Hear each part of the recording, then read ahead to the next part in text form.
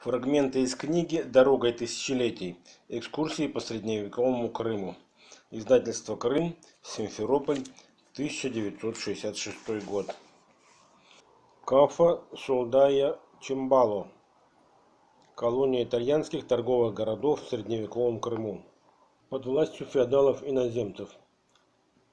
Выходцы из Генуи были лишь тонкой прослойкой среди многонационального населения крымских городов – в 1475 году в Кафе на 70 тысяч жителей насчитывалось только около тысячи генуэзцев.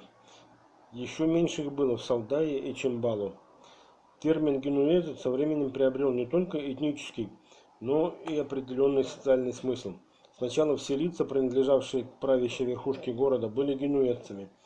Являясь ничтожным меньшинством среди жителей крымских средневековых городов, они составляли наиболее привилегированную часть населения – и освобождались от уплаты налогов и сборов. В руках иноземцев находилась вся политическая власть, и только граждане Генуи могли занимать высшие административные должности в Кафе, Салдае и других генуэзских колониях. Однако это правило не распространялось на наемных солдат, матросов и слуг итальянского происхождения, место которых на нижних ступенях общественной лестницы было определено раз и навсегда. Все коренное население генуэзских колоний Крыма – свою очередь разделялась на две основные социальные категории – граждан – это средний зажиточный слой городского населения, и так называемых жителей. Последние составляли в населении Кафа и Салдаи наиболее бедный, эксплуатируемый плебейский элемент. Первые же сосредоточили свою значительную часть ремесла и торговли, их собственность охранялась генуэзскими законами. В начале XIV века граждане получают доступ в местные административные органы – а в конце его они занимают уже половину мест в различных городских советах и комитетах КАФы. В XV веке наиболее состоятельные жители поднимаются до уровня граждан и сливаются с ними в единый эксплуататорский класс. Буржуазная стереография нередко рисует социальные отношения в генуэзских колониях в самых радужных красках, обходя молчанием факты тяжелого гнета эксплуатации неимущего и бесправного большинства населения иноземными феодалами и администрацией колоний. Генуэзские источники говорят о напряженной классовой борьбе в приморских городах и селах Крыма. В 1403 году вспыхнуло восстание против генуэзских властей в Чембало, которое было подавлено силой шеститысячной армии, прибывшей из Генуи. Значительные народные движения имели место в Кафе в 1454, 1456, 1463, 1471, 1472 и 1475 годах. Наиболее крупных из них было восстание 1454 года, которое проходило под лозунгом «Да здравствует народ! Смерть знатным!». Основную массу восставших составляли городские низы, маленькие люди без имени.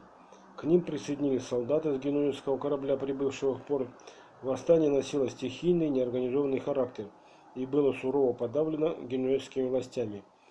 В многочисленных инструкциях, присылаемых из Генуи в Кафу, неоднократно говорилось о необходимости изымать крикунов и сеятелей раздоров и принимать суровые меры против опасных людей.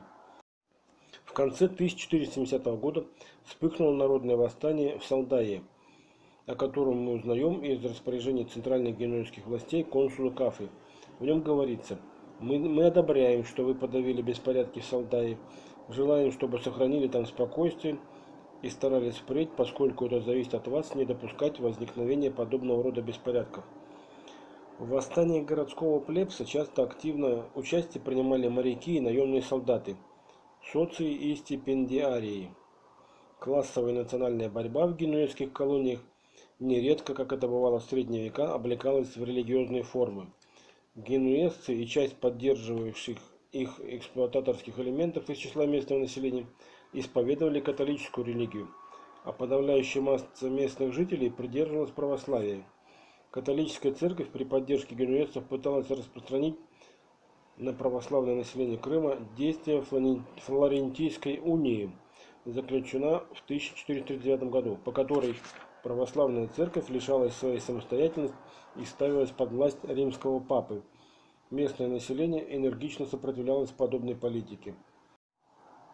Острые социальные конфликты происходили не только в городах Крыма, находившихся в руках генуэзцев. Хорошо известно, что кроме городов генуэзцы в конце XIV века овладели в Крыму большим числом поселений вдоль морского побережья от Чимбала до Кафы.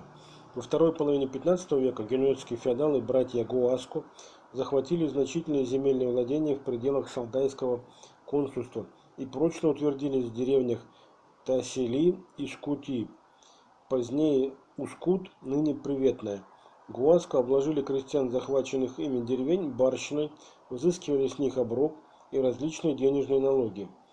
Гуаско присвоили себе право высшей юрисдикции, в знак чего установили от имени своего виселицы в деревне Скути и позорные столбы в Тасилии и создали на подвластной им территории собственные вооруженные отряды.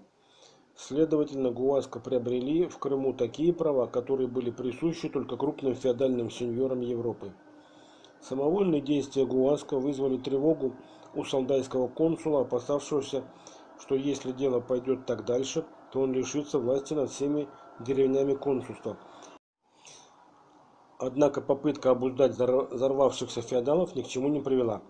Конные стражники консула, посланные в Скутии для того, чтобы срубить и сжечь виселицы и позорные столбы, встретили вооруженное сопротивление со стороны Гуаска и вынуждены были ни с чем вернуться в Салдаю.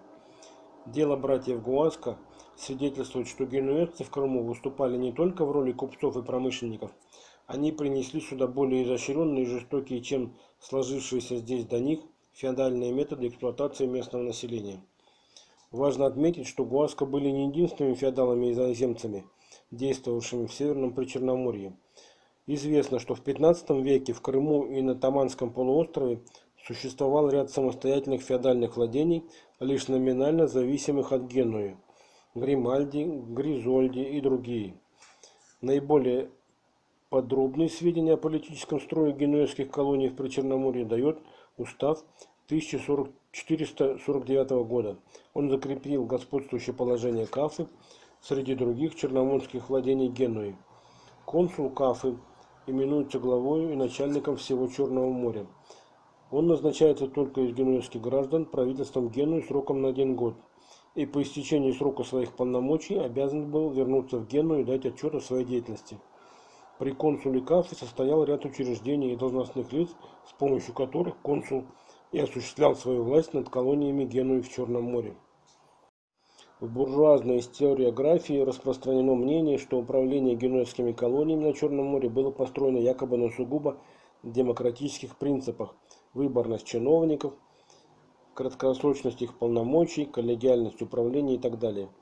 Более глубокое рассмотрение системы управления говорит о другом – во-первых, высшие администраторы и военачальники в генуэзских колониях, консулы, коменданты, никем не избирались, а назначались генуэзским правительством. Во-вторых, члены разнообразных советов и комитетов при консуле избирались в кавычках при непосредственном участии консула очень узким кругом лиц, состоявшим, состоявших из тех же чиновников. Таким образом, никаких выборов должностных лиц в колониях, собственно говоря, не, не производилось. Просто одна группа чиновников, срок полномочий которых истекал, назначала идущую ей на смену.